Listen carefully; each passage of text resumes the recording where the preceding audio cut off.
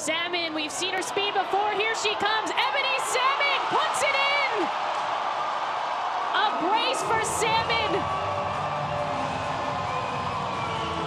Brilliant finish from Ebony Salmon. That pace of hers is absolutely electric. She was stopped by Emily Boyd a few minutes ago when she got through one-on-one. -on -one. This time, she beats the Chicago Red Stars keeper, but a lovely ball played through for her. Have a look at this ball here, waiter, but it's her pace that leaves the defenders for dead there, and she knocks it past the goalkeeper.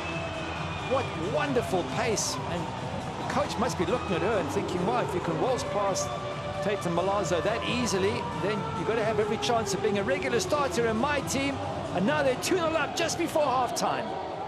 Well, hello, Houston. Ebony Salmon is in town. That's a stoppage time finish for her. She's got the two strikes today for the Houston Dash.